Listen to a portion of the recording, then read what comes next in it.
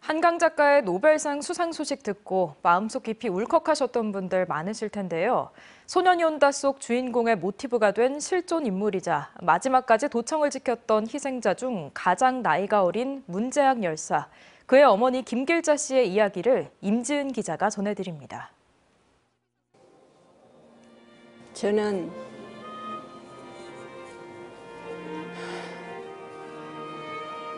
강주 상고 1학년 문재학이 도청에서 27일 새벽에 사망한 문재학이 엄마 김길자입니다.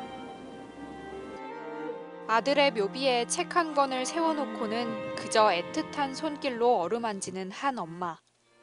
죽은 아들을 대신해 민주주의를 이루겠다며 피와 눈물을 흘렸던 세월이 44년이 됐습니다. 우리 5.18을 우리는 그렇게 발로 뛰었지만은 국내도 다 못 알렸는데 세계 책 한 권으로 해서 세계 5.18을 다 알려주시는데 너무나 감사하고 또래보다 키가 컸던 막내 아들은 소설 소년이 온다의 주인공 동호처럼 차분하면서도 강인했습니다. 숨진 채 상무관으로 들어온 친구를 두고는 집으로 절대 가지 않겠다던 아들을 엄마는 차마 말릴 수 없었습니다. 엄마 창근이가 죽어서 들어왔더라고 그래서 창근이를 어떻게 처리를 해놓고 가재 지금은 못 가겠다고 그래서 그래 알았다 그러면 처리해놓고 집에 온나 계엄군이 쳐들어오기 하루 전 도청으로 아들을 찾아 나섰지만 결국 그날의 대화는 마지막 인사가 됐습니다. 가족들과? 밥을 먹으러 집에 오라는 거 주인공? 동호 어머니의 간절한 외침. 아들 문재학 열사에게 전했던 당부가 그대로 소설에 녹아들었습니다. 해지기 전에 와라이 다 같이 저녁밥 먹게 그러지요 생각나지 내가 말했던 것이 생각나지 아들을 잃은 이야기가 책으로 출판됐다는 소식을 뒤늦게 전해 듣고는 같은 구절을 수없이 읽고 또 읽었습니다. 아들의 심정이 어땠을까?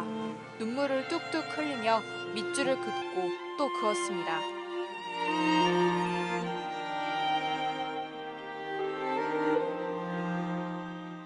(5월 27일) 새벽 최후의 순간까지 아들이 지켜내고자 했던 옛 전남도청을 다시 한번 찾았습니다. 민원실 2층에서 내려다보던 아들의 얼굴이 도청 본관 정문에서 나눴던 마지막 대화가 떠오릅니다.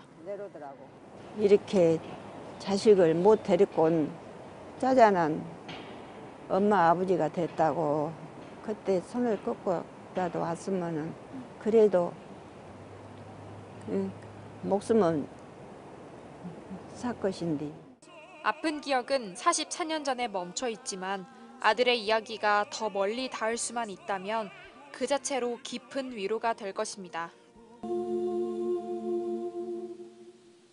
재아가 엄마 안 보고 싶었어? 다음에 천국에서 또 만나자. 엄마 기다리고 있어. 예. MBC 뉴스 임진입니다. 언제 어디서나 내 손 안의 뉴스 광주 MBC 뉴스 유튜브 구독으로 함께하세요.